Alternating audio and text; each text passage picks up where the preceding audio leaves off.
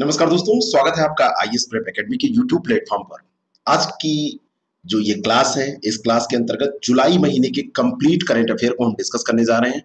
जुलाई महीने में जो घटने वाली घटनाएँ हैं, उन पर आधारित ये करंट अफेयर है। इसके अंतर्गत 135 से ऊपर प्रश्नों को हम देखेंगे। कम समय में देख लेंगे। डेली थर्टी में हम इन प्रश्नों को डिस्कस करते हैं। डेली थर्टी क्लास अगर आप देखते हैं रोज आठ बजे तो उसमें एक जीएस का टॉपिक और एक करेंट अफेयर का सेशन होता है, जिसमें दिन भर की महत्वपूर्ण घटनाओं को हम डिस्कस करते हैं। यहाँ पर हम फटाफट देखेंगे उन्हीं घटनाओं को, उनमें से भी बहुत इंपॉर्टेंट घटनाओं को, क्योंकि वैसे तो ढाई से ऊपर घटनाएँ हो जाती हैं। यहाँ पर हम उनमें से भी इंपॉर्टेंट घटनाओं को लेकर आपके सामने हाजिर हुए। मैं ओम पांडे, आपका गाइड आपका दोस्त। चलिए शुरू करते हैं इस सेशन को और लेते हैं पहला प्रश्न। किस एशियाई देश ने कोरोना वायरस के प्रसार के बीच सभी वन्यजीवों के आयात पर प्रतिबंध लगा दिया? और ऐसा करने वाला जो देश है, वो देश कौन सा है? ये देश है वियतनाम। वियतनाम के जो प्रधानमंत्री हैं, उनका नाम है गुएन जुआन फोक। आपसे ये पूछा जा सकता है, ठीक है? तो इसका सही उत्तर हो जाएगा बी। अगला जो प्रश्न है, किस भारतीय राज्य या केंद्र शासित प्रदेश द्वारा 2021 में खेलो इंडिया यूथ गेम्स के चौथे संस्करण की मेजबानी की जाएगी? जो खेलो इंडिया यूथ गेम्स का चौथा संस्करण है, ये हरियाणा के पंचकुला में आयोजित हो रहा है, टोक्यो ओलंपिक के बाद में 2021 में। और ये कहाँ पर है? हरियाणा में पंचकुला। तो डी ऑप्शन इसका बिल्कुल करेक्ट हो जाएगा। अगला जो प्रश्न है, हाल ही में किस देश ने अपने मित्र देशों को ड्रोन निर्यात के लिए मानकों में ढील दी है? तो मानकों में जो ढील देने वाला ये देश है, ये यूनाइटेड स्टेट ऑफ़ अमेरिका संयुक्त राज्य अमेरिका है। लेकिन जो ये ढील दी गई है ये 800 किलोमीटर प्रति घंटे से नीचे उड़ान भरने वाले ड्रोन के निर्यात पर दी गई है। इससे ज़्यादा जो स्पीड वाले हैं, उन पर नहीं दी गई है। Next question. राफेल जेट लड़ाकू विमान की खरीद भारत ने किस देश से की है? बहुत इंपॉर्टेंट प्रश्न है। अभी 27 जुलाई को राफेल जेट का पहला बैच यहाँ पर भारत में आया और वो जो बैच है, वो अंबाला के एयरबेस पे उतरा था। अंबाला के एयरबेस पे उतरा था और भारत ने इसको खरीदा है फ्रांस से। ए ऑप्शन इसका करेक्ट है। बहुत ही ज़्यादा इंपॉर्टेंट प्रश्न है। विश्व का सबसे बड़ा गैर ध्रुवीय ग्लेशियर कौन सा है? नोट कर लीजिए, ये प्रश्न इतना ज़्यादा इंपॉर्टेंट है और ऐसा प्रश्न आयोग जब पूछता है तो उसको गलत करा देता है। कई बार उसके आंसर सही नहीं खोज पाता वो। तो ये आप सियाचिन मत मारिएगा। सियाचिन दूसरा सबसे बड़ा विश्व का ये ग्लेशियर है। और यहाँ पर मैं बड़े की बात यहाँ पर लंबाई के संदर्भ में कर रहा हूँ। लेंथ के संदर्भ में मैं कर रहा हूँ, ये ध्यान रखिएगा। अगर आपसे ये लंबाई पूछी जाएगी तो लंबाई के क्रम में मैं आपको बता रहा हूँ कि सबसे जो लंबा है, वो फेंचेको है। फेंचेको 77 किलोमीटर लंबा है। और ये स्थित कहाँ है? कहाँ पर स्थित है? तजाकिस्तान में स्थित है। और सेकंड पे आता है छिहत्तर किलोमीटर लंबा। और ये वाला सियाचिन स्थित है भारत में। तो इस प्रश्न का उत्तर सही ए हो जाएगा। अगला जो प्रश्न है, भारत की किस संस्थान ने वित्तीय स्थिरता रिपोर्ट जारी की है? वित्तीय स्थिरता रिपोर्ट जो जारी की जाती है, वो भारतीय रिज़र्व बैंक जारी करता है। बी ऑप्शन इसका बिल्कुल करेक्ट है। किगाली समझौते पर हस्ताक्षर कब किए गए थे? किगाली समझौता जो है, वो मॉन्ट्रियल प्रोटोकॉल में संशोधन से संबंधित समझौता है और इस पर हस्ताक्षर 2016 में किए गए थे 15 अक्टूबर को। तो 15 अक्टूबर 2016 को ये हस्ताक्षर किए गए थे। डी ऑप्शन इसका करेक्ट हो जाएगा। नेक्स्ट क्वेश्चन वह राज्य जिसके राज्य पक्षी को अंतरराष्ट्रीय प्रकृति संरक्षण संघ रेड लिस्ट में गंभीर रूप से लुप्तप्राय प्रजातियों के तहत सूचीबद्ध कर चुका है है ना? आईयूएन आईयूसीएन की लिस्ट में इसको सूचीबद्ध किया गया है और वो पक्षी का नाम अगर आप जानते हैं तो आप बता सकते हैं कि वो कहाँ का राज पक्षी है। Bengal florican great Indian western great Indian जो वस्टर्ड है, ये राजस्थान का राजपक्षी है। इसके साथ में एशियाई हाथी, इन सबको शामिल किया गया है आईसीएन में। और ये किसका राज की पक्षी है? राजस्थान का। तो इसका सही उत्तर बी हो जाएगा। नेक्स्ट क्वेश्चन केंद्रीय प्रत्यक्ष कर बोर्ड द्वारा राष्ट्रीय आयकर दिवस का आयोजन किस तिथि को किया जाता है? मोस्ट इंपॉर्टेंट क्वेश्चन ये किया जाता है 24 जुलाई को। 24 जुलाई 1860 को सर जेम्स बिल्सन उनके द्वारा भारत में पहली बार आयकर प्रणाली की शुरुआत की गई थी। इसी कारण से किया जाता है। अगला जो प्रश्न है, वह देश जिसके द्वारा हाल ही में भोजन आपूर्ति सुनिश्चित करने के लिए खाद्य ग्रह पुरस्कार स्थापित किया गया है फ़ूड प्लेनेट अवार्ड स्थापित किया गया और ये अवार्ड स्थापित करने वाला देश है स्वीडन, है ना? और स्वीडन ने ऐसा किया है, एक मिलियन अमेरिकी डॉलर का यह पुरस्कार स्थापित किया गया है। नेक्स्ट क्वेश्चन अनासी सेकेंड उपग्रह का प्रक्षेपण किस देश के द्वारा किया गया?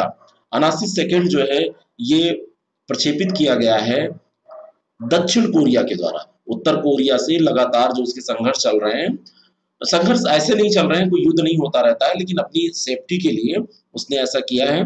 और इसका ये सैन्य संचार उपग्रह है, और ऐसा करने वाला ये देश जो है, ये विश्व का दसवां देश बन गया है तो सी ऑप्शन इसका बिल्कुल करेक्ट है। अगला जो प्रश्न है, किस भारतीय मूल की नर्स को कोविड 19 सेवाओं के लिए सिंगापुर के राष्ट्रपति पुरस्कार से सम्मानित किया गया? यह है कला नारायण स्वामी। कला नारायण स्वामी को, जो कि उनसठ वर्षीय हैं, सिंगापुर में ये सम्मान दिया गया है और अग्रिम पंक्ति में सेवा करने के लिए सम्मानित किया गया है। 2003 में सार्स से निपटने के लिए इनकी जो एक्सपीरियंस थे, इनके जो अनुभव थे, उसको इन्होंने यहाँ पर प्रयुक्त किया। इसी कारण से ये पुरस्कार इनको दिया जा रहा है। किस भारतीय वैक्सीन निर्माता द्वारा ऑक्सफोर्ड यूनिवर्सिटी एस्ट्राजेनेका द्वारा विकसित कोविड 19 वैक्सीन कैंडिडेट का परीक्षण शुरू किया गया? और ये जो भारतीय वैक्सीन निर्माता है, सीरम इंस्टीट्यूट ऑफ़ इंडिया, उसी के द्वारा ये किया जा रहा है। अगला जो प्रश्न है, वह चीनी अंतरिक्ष मिशन, जिसके तहत मंगल ग्रह की सघन जाँच की जाएगी। मंगल ग्रह की सघन जाँच करने वाला जो ये चीनी अंतरिक्ष मिशन है, चीन के द्वारा छोड़ा गया, इसका नाम है Tianwen first Tianwen first. Wenchang अंतरिक्ष यान प्रक्षेपण स्थल है। वहाँ से इसने अपनी ये शुरुआत की है। तियान वेन फ़र्स्ट इसका नाम रखा गया है। ये मंगल जाँच मिशन है। ध्यान रखिएगा चाइना का डी ऑप्शन अगला जो प्रश्न है एन नाइनटी फाइव मास्क उन कणों को फ़िल्टर करता है जिनका आकार होता है 300 नैनोमीटर से कम। बस इतना जानिएगा, बाकी एन नाइनटी फाइव मास्क के बारे में आप खूब जानते हैं। किसके कारण? कोरोना के कारण। प्रवासी रोज़गार ऐप किसके द्वारा लॉन्च किया गया? प्रवासी रोज़गार ऐप इसलिए है कि जो भी प्रवासी छोड़कर दिल्ली, मुंबई या बड़े शहरों से छोटे शहरों में जा रहे हैं, कहीं भी जा रहे हैं तो उनको रोज़गार दिलाया जा सके और इसको सोनू सूद ने लॉन्च किया। सोनू सूद ने बड़ा काम किया था लॉकडाउन के दौरान बसें भेजी थी। ठीक है ना? लोगों को उनके घर तक पहुँचाया था। अगला प्रश्न, भारतीय नौसेना ने किस देश के साथ मार्ग अभ्यास पासेक्स किया? पासेक्स अभ्यास किसके द्वारा साथ में भारतीय सेना ने किया है? तो भारत और संयुक्त राज्य अमेरिका की नौसेना में यह हुआ है। भारत और संयुक्त राज्य अमेरिका की नौसेना में, नौसेना के बीच में ये अभ्यास किया गया है। तो ये ध्यान रखिएगा। नेक्स्ट क्वेश्चन, किस वैश्विक संगठन ने भारत में युवा इंडिया नाम का गठबंधन शुरू किया? युवा इंडिया नाम का जो गठबंधन है युवा मामले और खेल मंत्रालय ने देश में स्वयंसेवकों को मज़बूत करने के लिए यूनिसेफ के साथ भागीदारी करके इसको शुरू किया है। बी ऑप्शन इसका बिल्कुल करेक्ट हो जाएगा। किसके साथ किया है?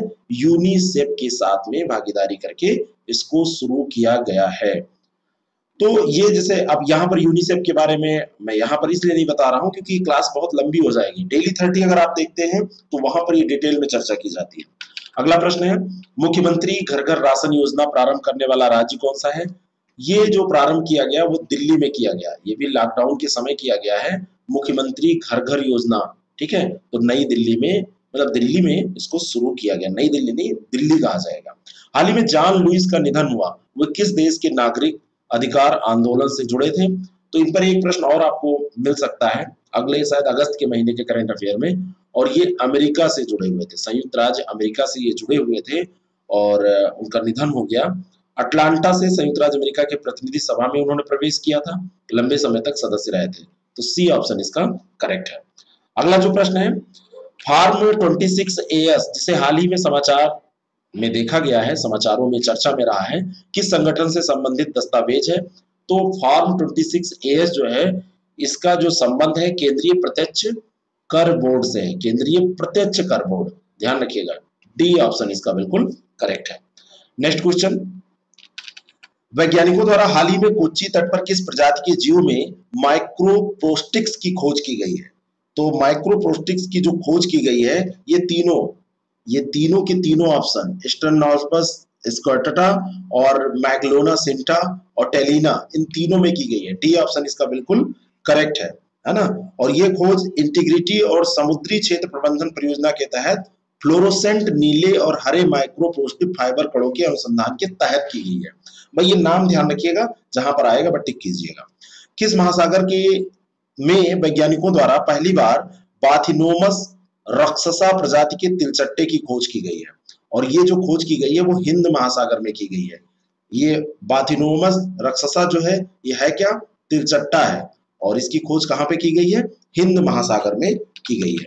नेक्स्ट क्वेश्चन अगला जो प्रश्न है, दूरसंचार, निपटान और अपीलीय न्यायाधिकरण, टीडी सैट जो है, टीडी सैट के अध्यक्ष कौन है? ये प्रश्न आपसे पूछा जा रहा है। सर्वोच्च न्यायालय ने दूरसंचार विवाद, निपटान और अपीलीय प्राधिकरण के चेयरपर्सन और सदस्यों का कार्यकाल अभी तीन महीने के लिए बढ़ाया था। इसीलिए चर्चा में आए हैं और ये है शिव कीर्ति सिंह। कौन है? शिव कीर्ति सिंह। सुप्रीम कोर्ट में ये पहले जज थे। और ये इस समय टीडी साइड के अध्यक्ष है। सी ऑप्शन इसका बिल्कुल करेक्ट है। भारत के राष्ट्रपति रामनाथ कोविंद के निजी सचिव के रूप में किसे नियुक्त किया गया है? तो अभी तक इनके जो निजी सचिव थे, विक्रम सिंह, वो हट गए हैं। विक्रम सिंह अब नहीं है। पी प्रवीण सिद्धार्थ को नियुक्त किया गया है। बी ऑप्शन इसका बिल्कुल करेक्ट है। इंटेलीमास्ट क्या है? इंटेलीमास्ट अगर आपसे पूछा जाए तो ये सौर आधारित कृत्रिम स्वचालित डिस्पेंसिंग यूनिट्स है थर्मल स्कैनर है। ये ध्यान रखिएगा, ऐसे प्रश्न खूब पूछे जाते हैं। ठीक है? और C S I R C S I R और C M E R E कैमेरी जिसको बोलते हैं, इन्होंने मिलकर इसको डेवलप किया है।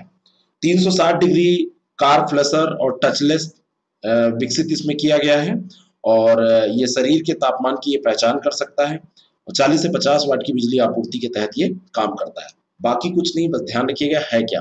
हाल ही में चर्चा में आया चट्टोग्राम बंदरगाह किस देश में स्थित है? चट्टोग्राम जो बंदरगाह है, वो स्थित है बांग्लादेश में। सी ऑप्शन इसका बिल्कुल करेक्ट है। बांग्लादेश में स्थित है और कोलकाता पोर्ट से अगरतला के लिए बांग्लादेश में चट्टोग्राम बंदरगाह के माध्यम से कंटेनर जहाज़ अभी परीक्षण के लिए रवाना किया गया था। अगला जो प्रश्न है कोडिया कराई वन्यजीव संरक्षण अभ्यारण किस भारतीय राज्य में स्थित है? भारत में स्थित है, ये तो बिल्कुल तय है। विकल्प भी भारत के ही दिए हुए हैं और ये स्थित है तमिलनाडु में। बी ऑप्शन इसका बिल्कुल करेक्ट है। जो कोडिया कराई वन्यजीव संरक्षण अभ्यारण है, ये हिरणों के पुनर्वास का यहाँ पर काम शुरू किया गया है, इसलिए ये चर्चा में आया है और ये स्थित कहाँ है? ये स्थित है तमिलनाडु में। वह भारतीय संविधान संशोधन, जिसके तहत दल दल विरोधी कानून 1985 को पारित किया गया था। ये तो ट्रेडिशनल प्रश्न है, लेकिन राजस्थान राज्य सरकार के राजनीतिक संकट के दौरान अभी चर्चा में आया था, इसलिए प्रश्न बनाया गया है, और ये था बावनवा संविधान संशोधन। सी ऑप्शन इसका बिल्कुल करेक्ट है। नेक्स्ट क्वेश्चन हाल ही में हिंदू समूह के अध्यक्ष के रूप में किसे नियुक्त किया गया है? द हिंदू आप पढ़ते हैं ना? तो जो द हिंदू आप पढ़ते हैं उसके समूह के एक अध्यक्ष भी होते हैं। तो अभी तक इसके जो अध्यक्ष थे, वो कौन थे? एन राम थे। एन राम की जगह मालनी पार्थ शास्त्री को इसमें नियुक्त किया गया है। बी ऑप्शन इसका बिल्कुल करेक्ट है। वर्तमान में यूरोपीय आयोग का अध्यक्ष कौन है? वर्तमान समय में यूरोपीय आयोग का अध्यक्ष क्यों चर्चा में आया है? भारत और यूरोपीय संघ के बीच में पंद्रहवीं शिखर बैठक आभासी मोड में अभी आयोजित की गई थी और वर्तमान समय में यूरोपीय आयोग के जो अध्यक्ष हैं, वो उर्सुला वान डेयर लेन है। सी ऑप्शन इसका बिल्कुल करेक्ट है। अगला जो प्रश्न है federation international de football association द्वारा फीफा विश्व कप 2022 का आयोजन कहाँ किया जाएगा? इसका जो आयोजन है, वो कतर में किया जाएगा। बी ऑप्शन इसका करेक्ट है। और 1930 के उपरांत प्रत्येक चार साल के अंतराल पर यह आयोजित किया जाता था। अभी भी आयोजित किया जाता है और वर्तमान समय में राष्ट्रीय फुटबॉल टीम जो फ्रांस की है, वो फीफा विश्व कप 2018 टूर्नामेंट जीतने वाली टीम है। अब 22 में इसको आयोजित किया जाना है। संगतेंग वन्यजीव अभ्यारण किस देश में स्थित है? संगतेंग वन्यजीव अभ्यारण भूटान में स्थित है। अरुणाचल प्रदेश की सीमा से लगा हुआ है। अरुणाचल प्रदेश की सीमा से और ये भूटान में स्थित है। Next question. बास्तील दिवस समारोह किस देश में मनाया जाता है? फ्रांस अपने राष्ट्रीय दिवस को बास्तील दिवस मतलब वहाँ का एक राष्ट्रीय दिवस के तौर पर ही मनाया जाता है। और 14 जुलाई को मनाता है। कब मनाता है? 14 जुलाई को मनाता है। कौन सा देश मनाता है? फ्रांस मनाता है। तो डी ऑप्शन इसका करेक्ट हो जाएगा। अगला जो प्रश्न है, हाल ही में किस राज्य सरकार ने गुमशुदा बच्चों का पता लगाने के लिए ऑपरेशन मुस्कान शुरू किया? तो ये जो ऑपरेशन है, ये आंध्र प्रदेश सरकार ने शुरू किया है। सी ऑप्शन इसका बिल्कुल करेक्ट है। और राज्य सरकार के अधिकारी साथ में एनजीओ मिलकर इसमें काम करेंगे। लापता बच्चों का पता लगाया जाएगा बाल श्रम मधुआ मजदूरी, घरेलू कामों में जो लिप्त हैं। ब्लूमबर्ग बिलीनियर्स इंडेक्स के अनुसार कौन सा भारतीय दुनिया का छठा सबसे अमीर व्यक्ति बन गया है? तो भारत का सबसे जो अमीर व्यक्ति है और तो दुनिया का सबसे अमीर, अगर बात की जाएगी तो टॉप में वही रहेगा। तो ये कौन है? मुकेश अंबानी है रिलायंस इंडस्ट्रीज़ के मालिक, जियो का जो आप सिम यूज़ कर रहे हैं। ये भी उन्हीं की कंपनी है। The state of food security and nutrition in the world नामक रिपोर्ट किसके द्वारा जारी की गई? ये जो रिपोर्ट है, ये संयुक्त राष्ट्र ने हाल ही में एफ़ यूनिसेफ आई एफ़ और डब्ल्यू एफ़ पी इनके साथ मिलके, है ना, संयुक्त रूप से जारी की है। लेकिन यहाँ पर एक ऑप्शन आपको टिक करना है तो संयुक्त राष्ट्र संघ हो जाएगा। वैसे इसमें एफ़ यूनिसेफ और एफ़ आई एफ़ डी ठीक है ना? आई एफ़ डी और W F P W F P इसके साथ में और कौन से? यूनिसेफ और एफ़ ये सब शामिल है, लेकिन संयुक्त राष्ट्र संघ आप इसमें टिक कर देंगे। अगला जो प्रश्न है, निम्नलिखित में से किस राज्य सरकार द्वारा ग्राम सभा को स्थानीय स्तर पर शराबबंदी की शक्तियाँ प्रदान करने का निर्णय लिया गया है? इंपॉर्टेंट क्वेश्चन है। ऐसा शराबबंदी जब भी हुई, जैसे बिहार में हुई थी तो प्रश्न पूछा गया था। तो ये हरियाणा बी ऑप्शन इसका बिल्कुल करेक्ट है। ग्राम सभा को दे दिया गया है शराबबंदी का। क्या? शक्तियाँ दे दी गई है, शक्ति प्रदान कर दी गई कि आप इसको करवा सकते हैं। नासा द्वारा मंगल मिशन 2020 के लिए विकसित रोबोट हेलीकॉप्टर का नाम क्या है? ये जो रोबोट हेलीकॉप्टर है, इसका नाम है इंजीन्यूटी। इंजीन्यूटी इसका नाम है। सी ऑप्शन इसका बिल्कुल करेक्ट है। और ये मंगल मिशन 2020 का जो मंगल मिशन है नासा का, उसके लिए ये हेलीकॉप्टर विकसित किया गया है। अगला जो प्रश्न है, प्रथम भारतीय बंदरगाह जिसे ट्रांस शिपमेंट हब के रूप में विकसित किया गया, ये प्रश्न आपसे पूछा जाएगा तो ये कोच्चि बंदरगाह इसका सही उत्तर हो जाएगा, और कोच्चि कहाँ पे है? कोच्चि है केरल में। कोच्चि कहाँ पर है? केरल में। ए ऑप्शन इसका बिल्कुल करेक्ट हो जाएगा।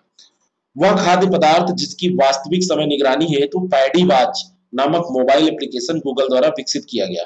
नाम पैडी वाच है तो ज़ाहिर सी बात है, ये चावल के लिए होगा। ए ऑप्शन इसका बिल्कुल करेक्ट है। गूगल अर्थ और ग्रुप ऑन अर्थ ऑब्जर्वेशन के सहयोग से यूनिवर्सिटी ऑफ़ सिडनी द्वारा ये पैडी वाच नामक ऐप विकसित किया गया है। धान की रोपण, कटाई, इन सब के बारे में इसमें जानकारी दी जाएगी।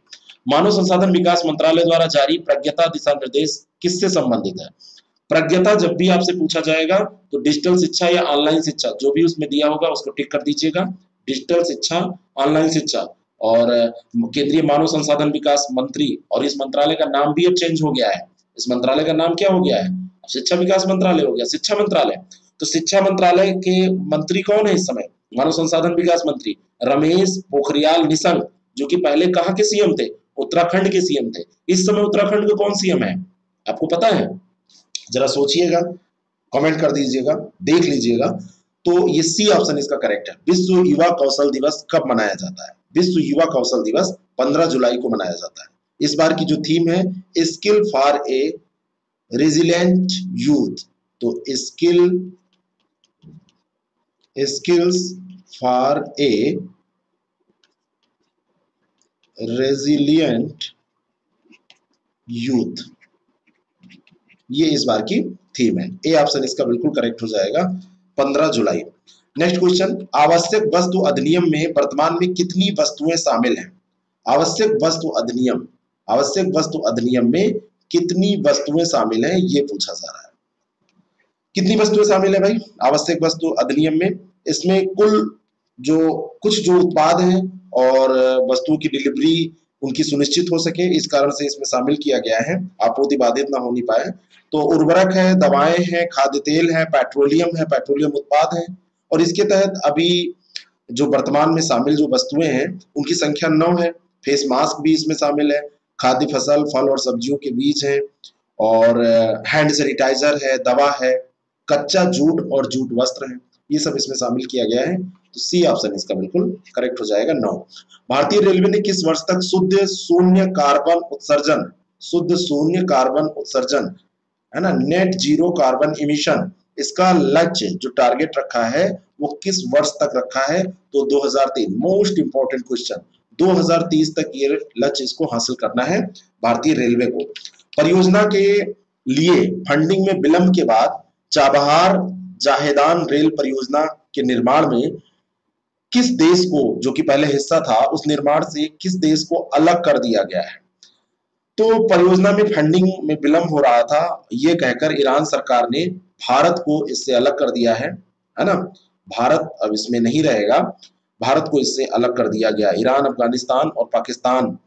अफ़गानिस्तान और पाकिस्तान की सीमा। 41 किलोमीटर लंबी, तीन देशों, ईरान, अफ़गानिस्तान और पाकिस्तान की सीमा पर। ईरान और अफ़गानिस्तान के साथ व्यापार के विकास में भारत की जो प्रतिबद्धता थी, उसी के एक हिस्से के रूप में ये भारत इसमें पार्टिसिपेशन कर रहा था।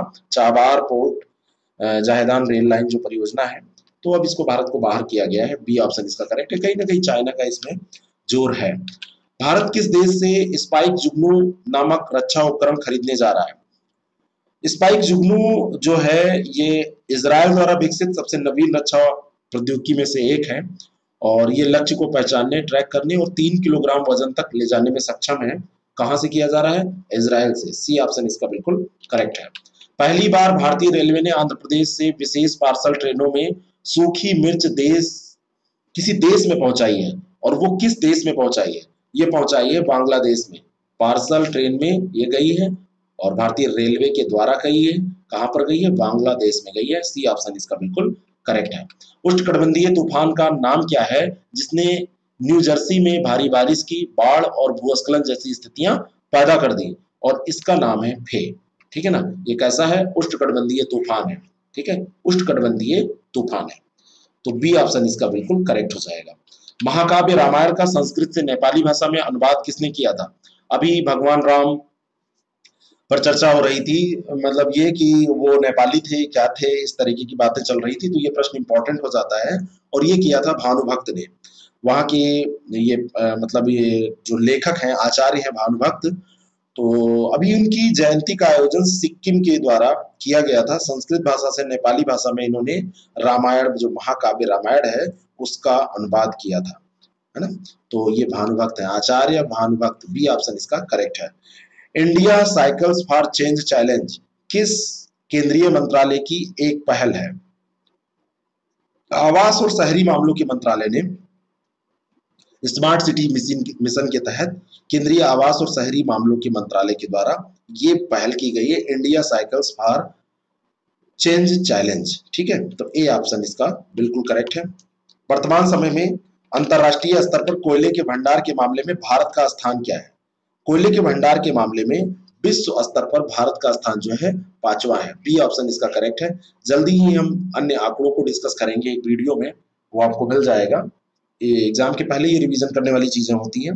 तो कोई भी एग्ज़ाम जब आप देने जाए तो उसको देख पाएँगे। जल्द ही आपको मिल जाएगा। I S prep academy channel से आप जुड़े रहें। हमारा ऐप आप इंस्टॉल कर लें और यूपीपीएससी टारगेट डॉट कॉम हमारी वेबसाइट है। डेली थर्टी आप ज़रूर देखें। हम और भी सेशन करते रहते हैं। और हम चीज़ों को इस तरीके से कवर करते हैं जो एग्ज़ाम की दृष्टि से बहुत इंपॉर्टेंट होती है। अगला जो प्रश्न है, अंतर्राष्ट्रीय नागरिक उड्डयन संगठन का मुख्यालय कहाँ पर स्थित है? अंतर्राष्ट्रीय नागरिक उड्डयन संगठन, इसका जो मुख्यालय है, वो मॉन्ट्रियल में स्थित है। वर्ष 1944 में यह स्थापित किया गया था और शिकागो कन्वेंशन के तहत इसको स्थापित किया गया था। मॉन्ट्रियल में स्थित है और मॉन्ट्रियल कहाँ है? कनाडा में। मॉन्ट्रियल कहाँ है? कनाडा में। ठीक है? और भारत सरकार द्वारा अभी जल्द में अंतर्राष्ट्रीय नागरिक उड्डयन संगठन के समक्ष पाकिस्तान द्वारा हवाई क्षेत्र के उपयोग से इनकार के मामले को उठाया गया है। तो इसी कारण से ये चर्चा में आया है। केंद्रीय गृह मंत्रालय द्वारा नागरिकता रद्द कार्रवाई से प्रभावित चिन्ना मनेनी रमेश किस विधानसभा के सदस्य हैं? चिन्ना मनेनी रमेश के बारे में इतना जानिए, ये तेलंगाना विधानसभा के सदस्य थे और इन पर कार्रवाई की गई। ठीक है? नागरिकता रद्द कार्रवाई से ये प्रभावित हुए हैं। अगला जो प्रश्न है, केंद्रीय नागरिक उड्डयन मंत्रालय द्वारा उड़ानों को ट्रैक करने हेतु जो एप्लीकेशन प्रारंभ किया गया है, वो कौन सा मोबाइल एप्लीकेशन है? और इस मोबाइल एप्लीकेशन का नाम है एयर सेवा सी ऑप्शन इसका करेक्ट है एयर सेवा नाम है। नेक्स्ट क्वेश्चन 19-20 2019-20 में भारत का सबसे बड़ा व्यापारिक साझेदार कौन सा देश बना? सबसे बड़ा जो व्यापारिक साझेदार है भारत का, वो संयुक्त राज्य अमेरिका है। अभी चीन के साथ में जो व्यापार है वो घट रहा है। लगातार हम चाइना की जो चीज़ें हैं, उनको प्रतिबंधित करने की कोशिश कर रहे हैं। तो अमेरिका के साथ वैसे भी अच्छा व्यापार रहता है। तो व्यापारिक साझेदार सबसे बड़ा कौन है? संयुक्त राज्य अमेरिका। व्यापार घाटा हमारा चाइना के साथ ज़्यादा रहता था। अब वो कम हो जाएगा। मंगल परिक्रमा अभियान की योजना बनाने वाला पहला अरब देश कौन सा है? पहला अरब देश पूछा जा रहा है। पूरा नहीं पूछा जा रहा है। अरब देश पूछा जा रहा है। संयुक्त अरब अमीरात ऐसा करने जा रहा है। मंगल अभियान भेजने की योजना की उसने अभी घोषणा की है। और ऐसा करने वाला अभी वैसे अमेरिका है, भारत है, यूएसएसआर है यूरोपीय अंतरिक्ष एजेंसी है, इसने ये सब किया है। चीन भी है है ना? चीन भी लॉन्च करने की तैयारी में है और ये अरब देश है संयुक्त अरब अमीरात जो ऐसा करने जा रहा है। अगला जो प्रश्न है, किस केंद्रीय मंत्रालय ने आर्टिफिशियल इंटेलिजेंस, एआई आधारित असीम पोर्टल लॉन्च किया? जो असीम पोर्टल है, ये मतलब आर्टिफिशियल इंटेलिजेंस पर आधारित है नियोक्ताओं को कुशल कर्मचारियों की उपलब्धता का मूल्यांकन करने के लिए, उनकी भर्ती प्रक्रिया के लिए एक डिजिटल प्लेटफॉर्म ये उपलब्ध कराता है। और ऐसा प्लेटफॉर्म होगा तो कौशल विकास और उद्यमिता मंत्रालय ही करेगा। बी ऑप्शन इसका करेक्ट है। अगला जो प्रश्न है, किस संगठन ने अनुमान लगाया कि अगले पाँच वर्षों में औसत वैश्विक तापमान में 1.5 डिग्री सेल्सियस की वृद्धि होगी? ऐसा करने वाला जो संस्थान है, वो विश्व मौसम संगठन है। बी ऑप्शन इसका बिल्कुल करेक्ट है। विश्व मौसम संगठन, इसकी स्थापना कब की गई थी? कमेंट करके बताइएगा, है ना? जो लोग कमेंट नहीं करना चाहते, वो खुद देख लेंगे, इसकी स्थापना कब की गई थी और इसका मुख्यालय कहाँ है? इसको देख लीजिएगा। अगला जो प्रश्न है, पंद्रह जुलाई को हुए भारत और यूरोपीय देखिए मैं बता सकता हूँ, लेकिन मैं इसलिए नहीं बताता हूँ कि इसी बहाने आप क्या करेंगे, थोड़ा बहुत गूगल करेंगे, कुछ पढ़ाई कर लेंगे, है ना?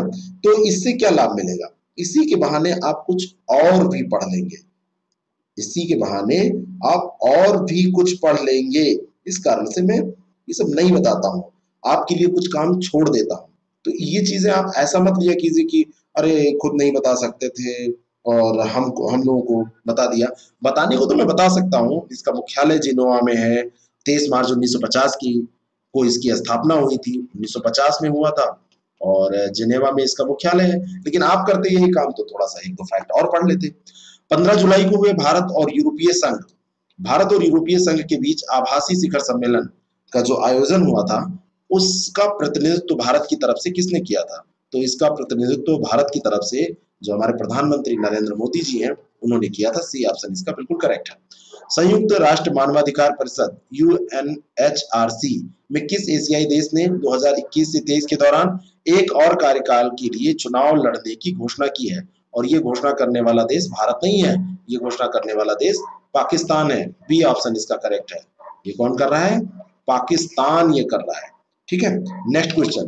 किस राज्य सरकार ने आदिवासी समुदायों के संवैधानिक अधिकारों की रक्षा के लिए एक आयोग का गठन किया है? आदिवासी समुदायों के संवैधानिक अधिकारों की रक्षा के लिए। आप इसमें हो सकता है मध्य प्रदेश, छत्तीसगढ़ इधर जाने लगे, लेकिन ऐसा करने वाला जो राज्य है, वो गुजरात है। ए ऑप्शन इसका बिल्कुल करेक्ट है। और ये जो आयोग होगा, इसमें एक सेवानिवृत्त उच्च न्यायालय के न्यायाधीश, दो सेवानिवृत्त जिला न्यायालय के न्यायाधीश और एक सेवानिवृत्त वन विभाग के अधिकारी और इसके साथ में एक सेवानिवृत्त कलेक्टर को शामिल किया जाएगा। अतिरिक्त कलेक्टर इसमें एक रहेंगे और गलत व्यक्तियों को, आदिवासी लोगों का जो लाभ ले लेते हैं, उनको रोकना है। कई बार लोग आदिवासी का सर्टिफिकेट बनवा लिए और उनका लाभ उठा लेते हैं। तो उसको रोकने के लिए ऐसा किया जा रहा है। केंद्र सरकार द्वारा प्रायोजित पीएम कुसुम योजना किससे संबंधित है? पीएम कुसुम योजना का संबंध है सौर ऊर्जा से। सोलर एनर्जी से पीएम कुसुम योजना संबंधित है। सी ऑप्शन इसका बिल्कुल करेक्ट है। मटला राजपक्षे अंतरराष्ट्रीय हवाई अड्डा किस देश में स्थित है? नाम से ही पता है, राजपक्षे अगर आ गया तो ये श्रीलंका में हो जाएगा। ठीक है ना? और मटला राजपक्षे अंतरराष्ट्रीय हवाई अड्डा जो है वो कोलंबो से 241 किलोमीटर दूर है। कम हवाई उड़ान होने के कारण दुनिया का सबसे खाली हवाई अड्डा भी इसको घोषित किया गया था। इसको सबसे खाली हवाई अड्डा कहते हैं। और उच्च ब्याज दर वाला चीनी ऋण लेकर यह बनाया गया था। चीन जब भी आपको कुछ देगा तो उसका भुगतान कुछ ऐसा करना पड़ता है, एक तो उनकी जो चीज़ है, उसकी क्वालिटी सही नहीं होती, और दूसरा वो जो भी काम करते हैं, उसमें ब्याज दर ये सब भी उच्च कर लेते हैं। अब ये ऋण में डूब गया है, इसी कारण से चर्चा में आया ये हवाई अड्डा का खर्चा वैसे भी नहीं निकल पा रहा है और उच्च ब्याज दर है, इसके कारण से और दिक्कत है। है ना? और दिक्कत है। ब्लूइस क्या है? B L U I S BLUIS क्या है? ब्लूइस जो है, ये सरकारी भूमि पर नज़र रखने के लिए वेब और मोबाइल आधारित समाधान है, लेकिन ये राष्ट्रीय स्तर पर नहीं है। सरकारी ज़मीन पर ये नज़र रखेगा और कहाँ पर रखेगा? उड़ीसा में। ब्लूस जो है, ये Bhubaneswar land use intelligence system के कारण इसका नाम इस शॉर्ट फॉर्म में रखा गया है। ब्लूस जो है, Bhubaneswar land use intelligence system इसका फुल फॉर्म है। सीमा सड़क संगठन बीआरओ की स्थापना कब की गई थी? सीमा सड़क संगठन अधिकतर चर्चा में आता रहता है। ये अपने कामों के लिए सीमा क्षेत्र में जो भी इंफ्रास्ट्रक्चर डेवलपमेंट होता है और स्टाफ का जो प्रबंधन है, और ये सारा काम ये करता है। अंतर्राष्ट्रीय सीमा से लगने वाले जो राज्य हैं, उनके आर्थिक सामाजिक विकास में योगदान देता है। युद्ध काल में ये मतलब सरकार द्वारा सौंपे गए जो अन्य कार्य हैं, उसको भी करता है। Original sector redeployed sector इन सब लाइन ऑफ़ कंट्रोल इन सब चीज़ों का ये प्रबंधन करता है। और इसकी जो स्थापना हुई थी, ये 7 मई 1960 को की गई थी। 7 मई 1960 को की गई थी। बी ऑप्शन इसका बिल्कुल करेक्ट है। ठीक है? और इसका मुख्यालय कहाँ है? नई दिल्ली में है।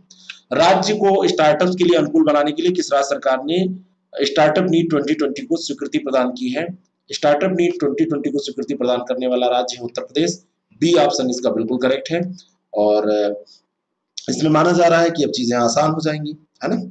अगला जो प्रश्न है, संचार उपग्रह ऑप स्टार एप स्टार या एपी स्टार सिक्स डी जैसे भी आप इसको याद रखें तो एपी स्टार सिक्स डी किस देश की अंतरिक्ष एजेंसी के द्वारा लॉन्च किया गया है? तो एपी स्टार सिक्स डी जो है, ये सिचांग से लॉन्च किया गया। चाइना का ये संचार उपग्रह है।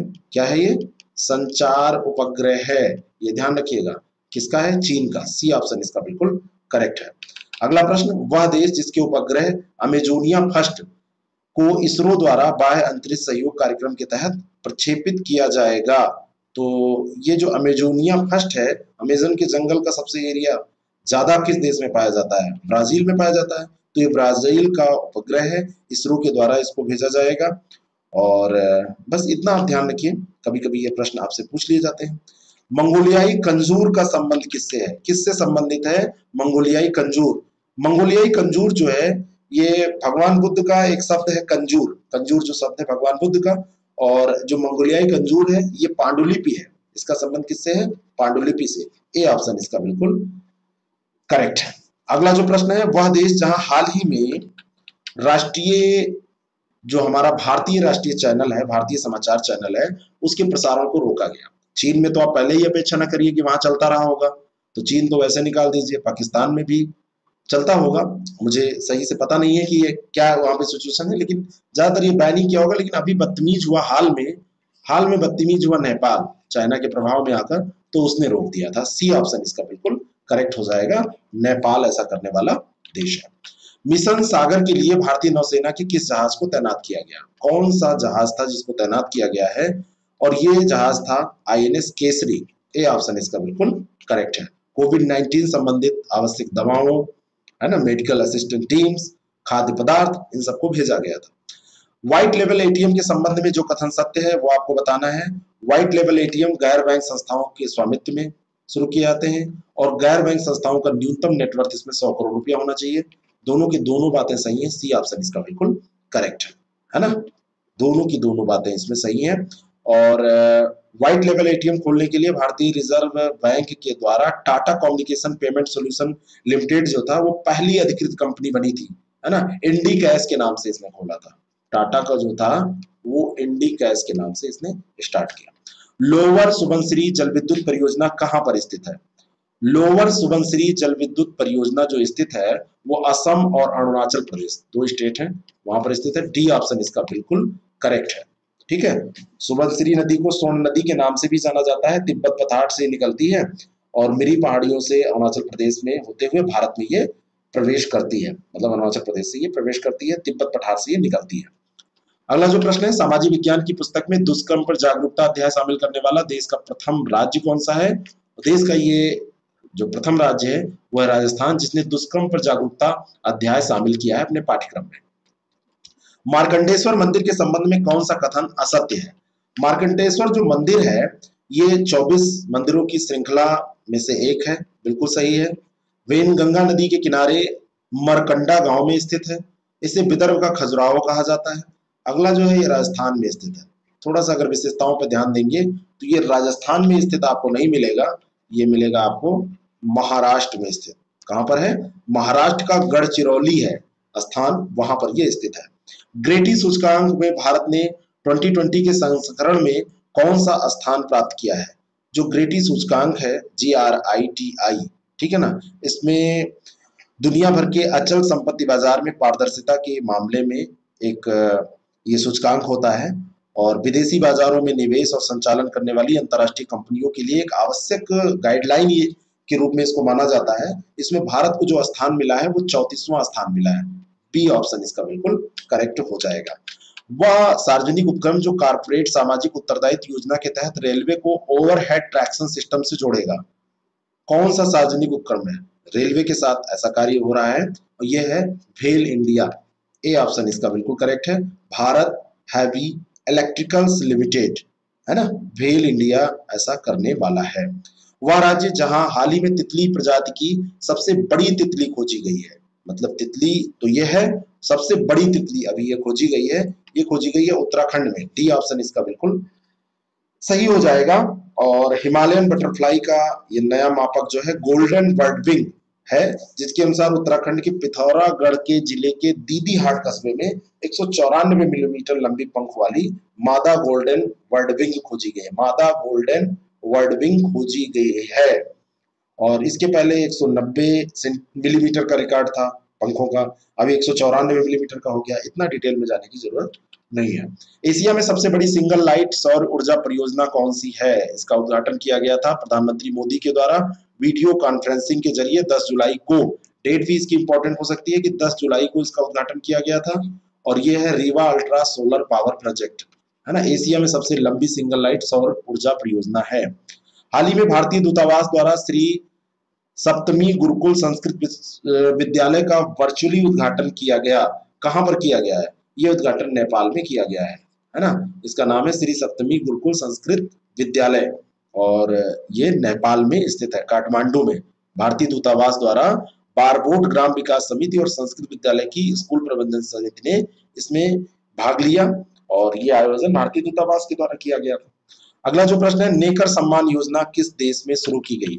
नेकर जो सम्मान योजना है, नेकर का अर्थ होता है बुनकर। नेकर का अर्थ होता है बुनकर। और ये शुरू की गई है कर्नाटक में। कर्नाटक के मुख्यमंत्री बी एस येदुरप्पा है। और उन्होंने वहाँ पे जो बुनकर हैं, उनको आत्मनिर्भर बनाने के लिए और बुनकरों के सम्मान में ये योजना शुरू की है।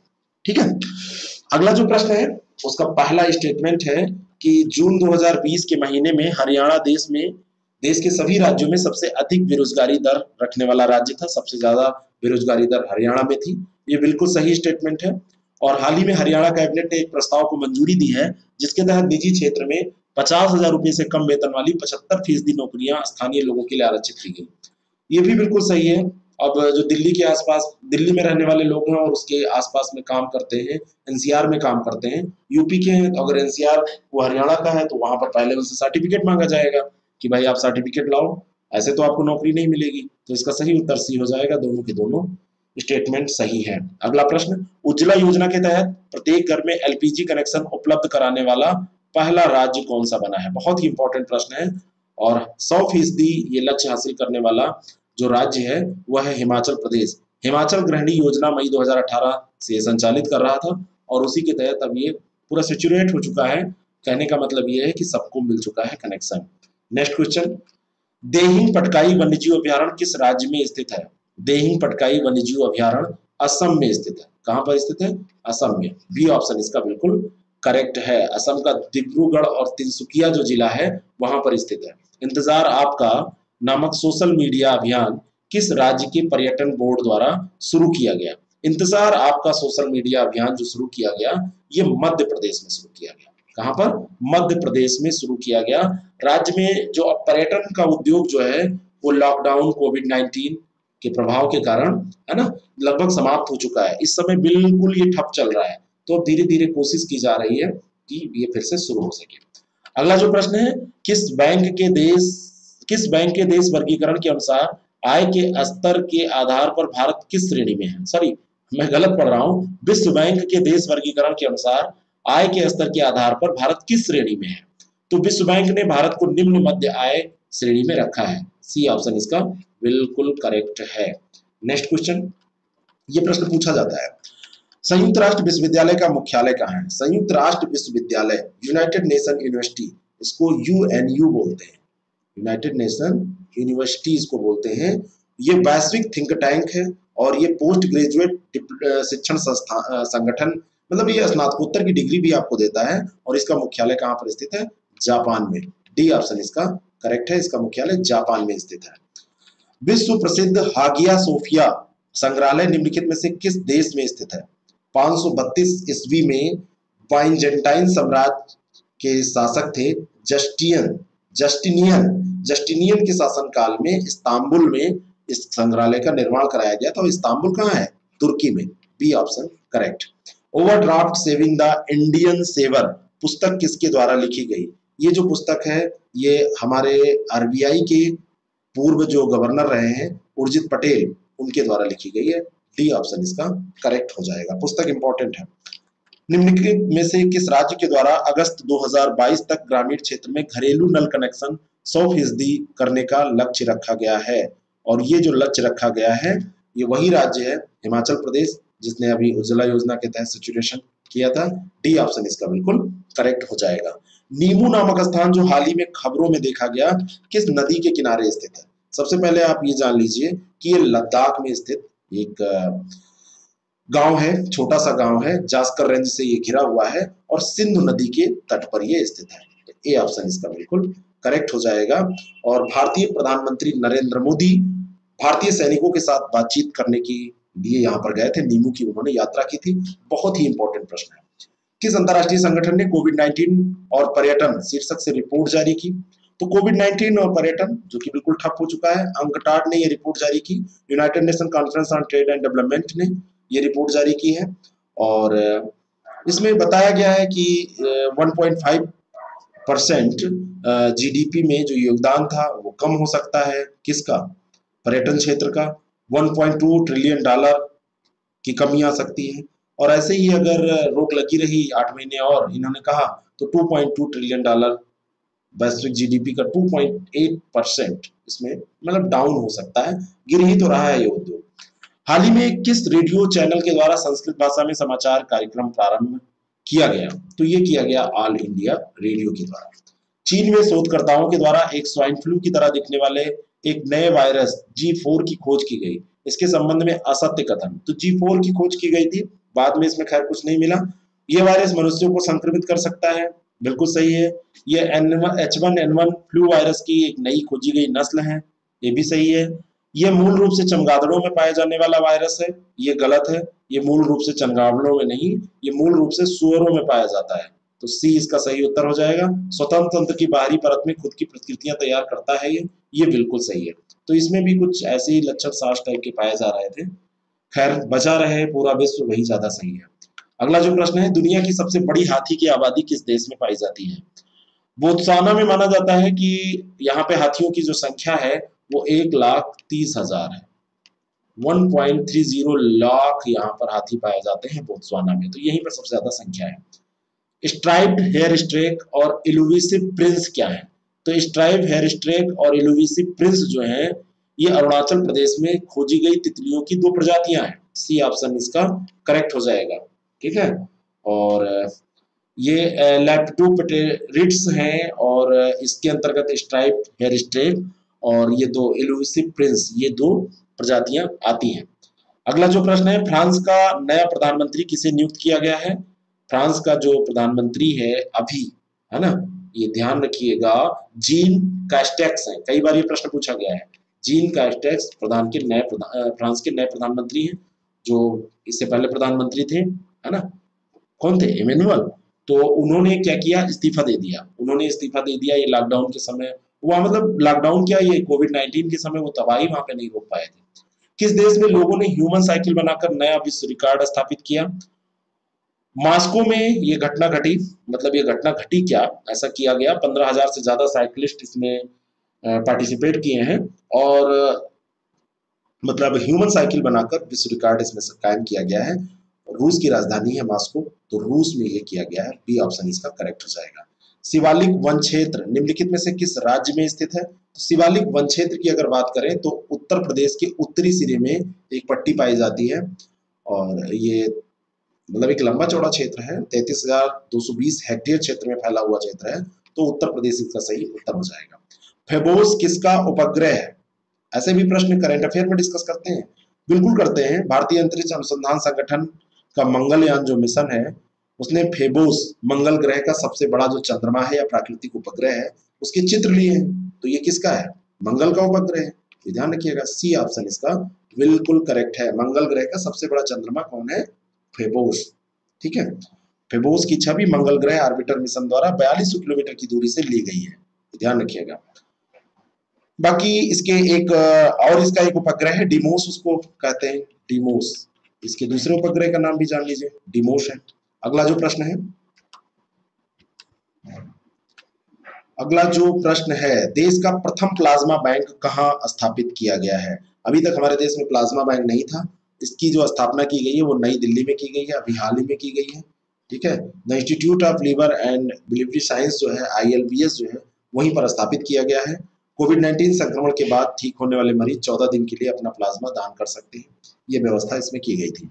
जल जीवन मिशन के तहत केंद्र सरकार ने कब तक प्रत्येक ग्रामीण घर को पेयजल जो है, उसके लिए नल कनेक्शन देने का निर्णय लिया है? नल लगवा दिए जाएँगे। और ये निर्णय लिया गया है कि 2024 2024 का टारगेट इसमें रखा गया है। बी ऑप्शन इसका करेक्ट हो जाएगा। नेक्स्ट क्वेश्चन गवाह संरक्षण योजना 2018 को लागू करने वाला देश का प्रथम राज्य कौन सा है? तो गवाह संरक्षण योजना ओडिशा में लागू की गई है।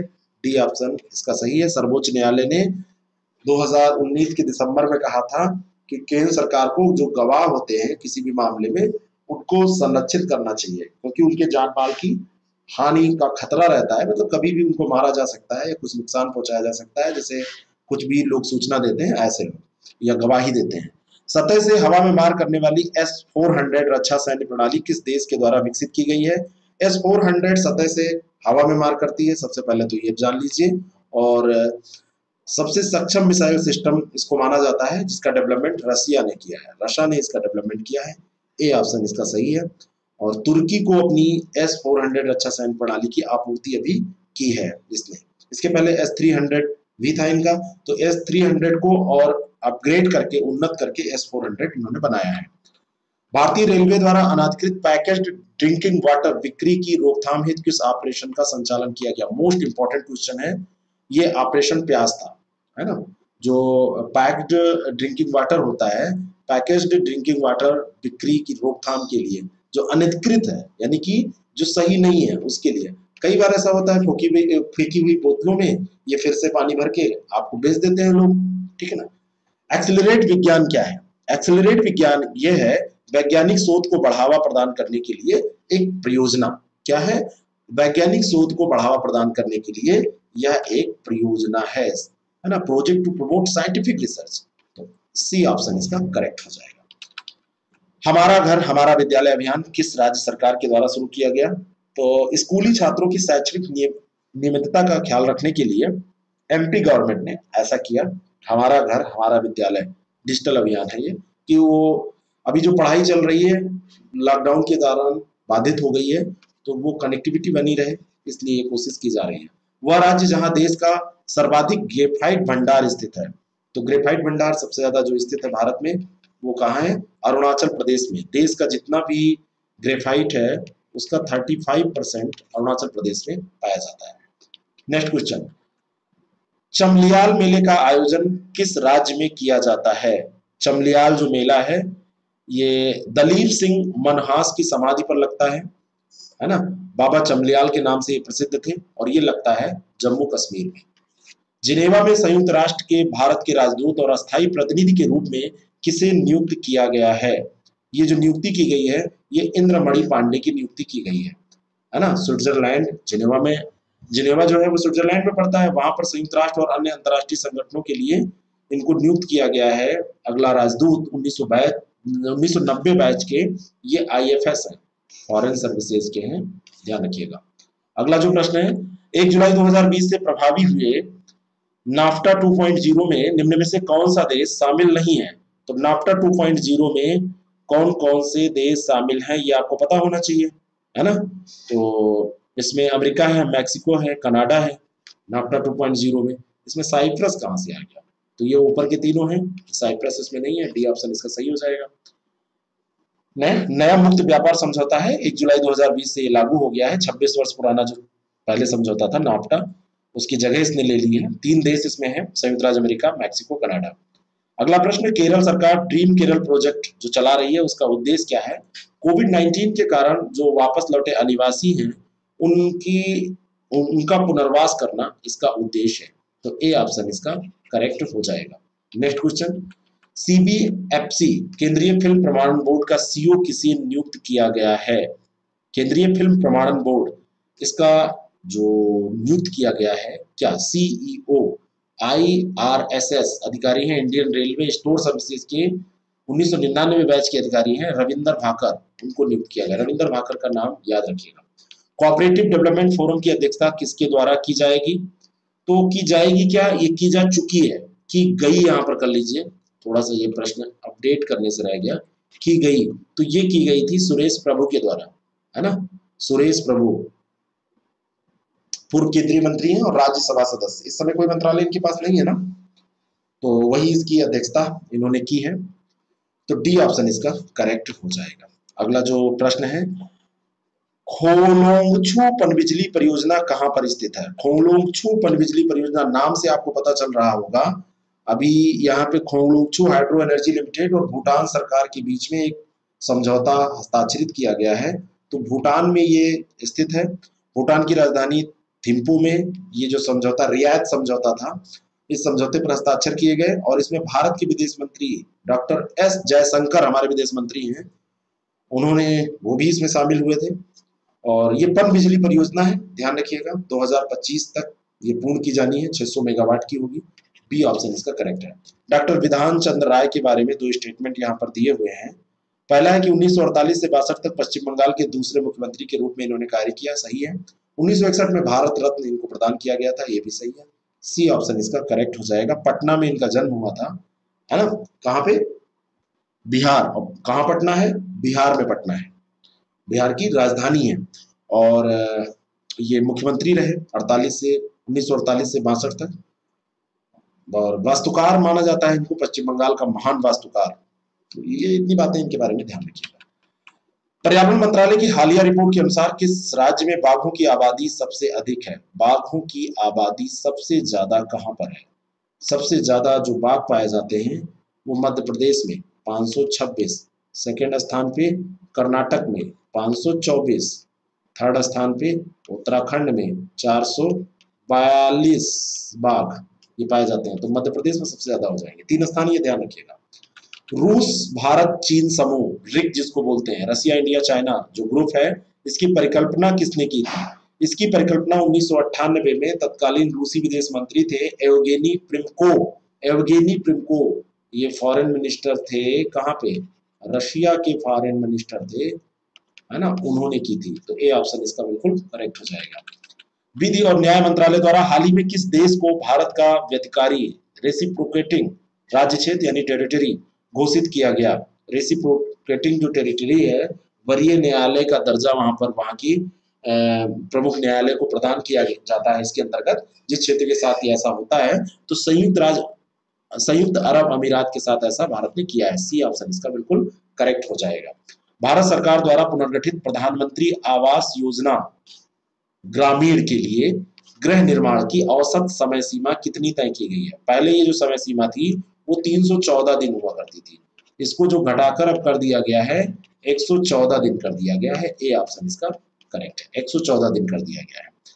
राष्ट्रीय जलमार्ग अधिनियम 2016 के लागू होने के साथ देश में राष्ट्रीय जलमार्गों की संख्या कितनी हो गई? भारत में अभी भी जलमार्गों का उतना इस्तेमाल नहीं किया जाता, जितना रोड्स का किया जाता है। लेकिन भारत में जलमार्ग बहुत हो गए हैं। 111 और पहला था सदिया से, क्या था? इलाहाबाद से हल्दिया तक। भारत में राष्ट्रीय जलमार्ग संख्या एक थी और दूसरा था सतिया से धुबरी तक, है ना? आठ सौ इक्यानवे किलोमीटर लंबा। ये दूसरा था। तो सबसे पहले वाला ध्यान रखिएगा, जलमार्ग संख्या एक, इलाहाबाद से हल्दिया। अगला प्रश्न है, कोविड लॉकडाउन के दौरान भारत द्वारा आकर्षित विदेशी निवेश का कोष क्या है?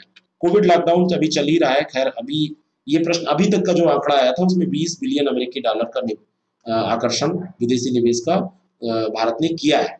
फॉरेन इन्वेस्टमेंट फंड जो अट्रैक्ट किया गया है, वो 20 बिलियन अमेरिकी डॉलर है। सी ऑप्शन इसका करेक्ट है। संयुक्त राष्ट्र महासभा अपने इतिहास में कितनी बार वर्चुअली आयोजित की जा चुकी है? मैं आपको बताना चाहता हूँ, पंद्रह सितंबर से अभी एक सत्र शुरू करने जा रही है संयुक्त राष्ट्र महासभा। वो वर्चुअली आयोजित होगा। अभी तक एक बार भी आयोजित नहीं हुई है। पंद्रह सितंबर के बाद में ये हो जाएगा कि एक बार आयोजित की गई है। अगर ऐसा ही रहा तो। श्रमिक समस्या निवारण हेतु श्रम एवं रोज़गार मंत्रालय द्वारा नव विकसित पोर्टल का नाम क्या है?